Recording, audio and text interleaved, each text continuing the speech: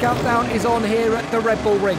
Just a few more moments and we'll see the start of the Austrian Grand Prix.